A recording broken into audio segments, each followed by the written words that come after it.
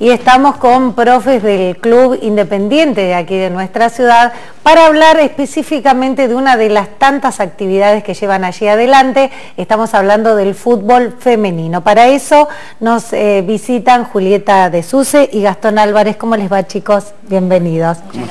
Bueno, eh, cuéntenme acerca de esta actividad que se viene desarrollando en el club desde hace... Tres años, arrancamos el 8 de septiembre de 2016, este es el tercer año. Eh, bueno, muy contento porque cada año que fue pasando eh, fue creciendo cada vez más y ahora con la presencia de Juli porque los otros dos años estuvo Mariela Camio. Este año, bueno, por distintas razones no está, pero este año con Juli, el club, eh, quiere dar un salto de calidad, ella es profe, tiene mucha experiencia en esto, así que la idea es esa, seguir creciendo. Juli, que ha sido como una pionera cuando nadie jugaba al fútbol, Julieta este, como profe, como estudiante, siempre incursionando y, este, y adelantándote un pasito a lo que venía, ¿verdad? Sí, igualmente había, había, había otras... Vamos a acercarnos ahí si no ponemos este. Sí. Había otras, eh, de las muchas chicas que, jugábamos ya ahí, pero fuimos una de las pioneritas, chiquititas. ¿Y, esta actividad que arranca a partir de qué edad? Eh, arranca de los seis años, a partir de los seis años, tenemos categoría sub-12, eh, queremos también implementar la categoría sub-10 para que queden divididas eh, por categorías y no haya nenas de 6 años entrenando con nenas de 14. entonces eh, dividimos categorías sub 15, sub 12 y sub 10. ¿Y cómo este, toman esta actividad que bueno, para las nenas que arrancan ya es como algo normal? ¿Cómo se lo toma, este, digo, los papás se enganchan, le dicen, lo toman como algo que ahora ha revolucionado, ¿no? Hasta se ha hecho profesional. Exactamente es una sorpresa también, porque eh, antes no se veía tantas nenas jugando al fútbol y de repente fue como que explotó la bomba del fútbol femenino y, la verdad que estamos re contentos. Sí, porque vos pasás los martes y jueves que nosotros damos clase, pasás por el club y ves 60 nenas jugando a la pelota, algo que no se veía. Claro.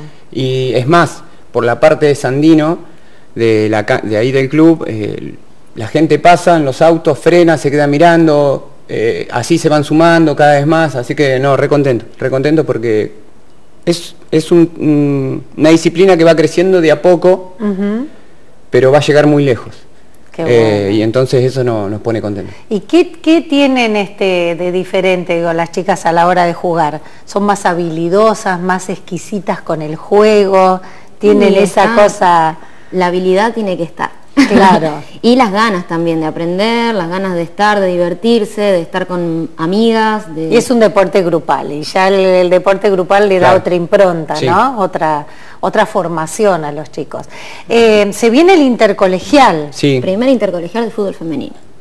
Solo, de fútbol femenino. ah, porque han estado integrados a otros, pero ahora este va a ser solo, femenino. Solo femenino, sí. ¿Que arranca cuándo? Va a ser el fin de semana del 6 y 7 de abril. Bien. Sábado 6 y domingo 7. ¿Y se pueden inscribir todas las instituciones? ¿Cómo van a funcionar? Sí, por colegio. Eh, solo por colegio. ¿Y a dónde lo hacen?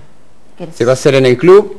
Eh, las planillas se retiran ahí mismo en la secretaría.